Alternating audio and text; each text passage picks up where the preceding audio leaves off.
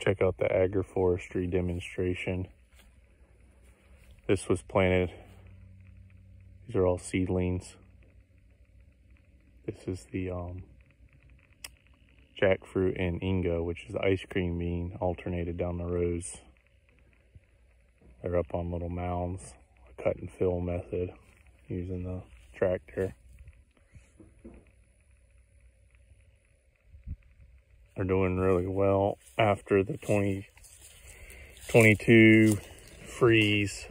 Everything was frozen to the ground here. Literally just everything had to sprout back up. So that's why a lot of this stuff's multi-trunked. Um, you can see it's froze to there. We've been recovering and pruning. We just came through and did some weed eating and now we're gonna do some chop and drop on the Inga. I think some of these are gonna flower for the first time. It's hard to tell just yet but we really don't want these to flower. I have some bigger trees that I'm gonna let fruit, but these I need to cut and mulch around these jackfruit. We leave them really dense in the winter for frost protection and wind protection from the cold. So it protects these little jackfruit trees, gives them a little blanket. And now we're going into a long growing season, so we can open them up.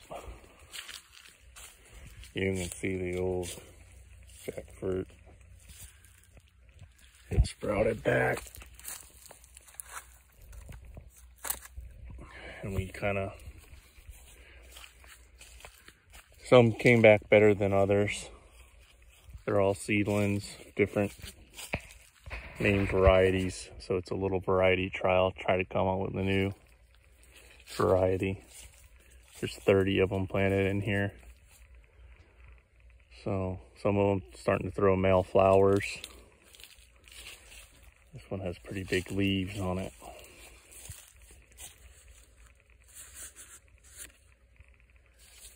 Trying to find some male flowers for you. Oh, here they are.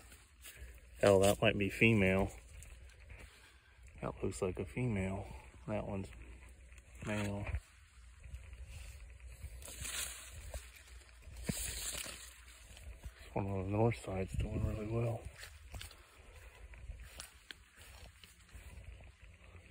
That's a beautiful tree. But you can see it, it got some frost damage on the north side.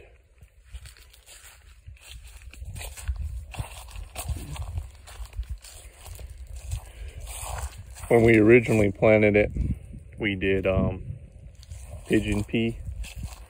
Also, we seeded in pigeon pea, which is another nitrogen fixer. So we did jackfruit, pigeon pea. There's pigeon pea on each side of each jackfruit, and on each side of each jackfruit was the ice cream bean. And then pigeon pea again, and jackfruit and pigeon pea, then ice cream bean, then pigeon pea, then jackfruit. Sort of like that and uh, planted everything down the midline, which is straight down the center, which was easy to maintain the edges.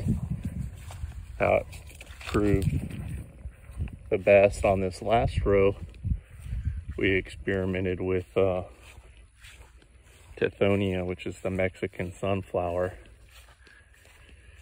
And we planted those on the edges of the row, as you can see. And it was harder to maintain. Um, excuse me. And uh, we had grafted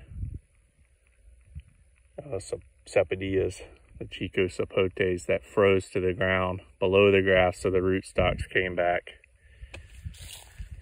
So we haven't replanted this bed yet. We've uh, just been prepping it and maintaining it. But um, some of the rootstocks sprouted back. Some didn't and uh,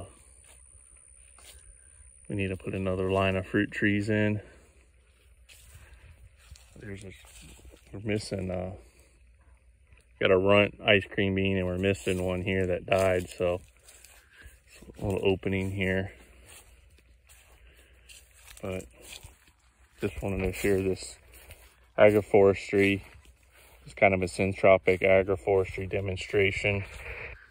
We were experimenting with the elevation, the cut and fill method, and uh, how it all works. And doing really well. So we're going to try to replicate this and potentially continue it down. So here's one of the kind of the pigeon peas and the second generation. So these do really well for chop and drop. They last a couple years in the system, but it's nice.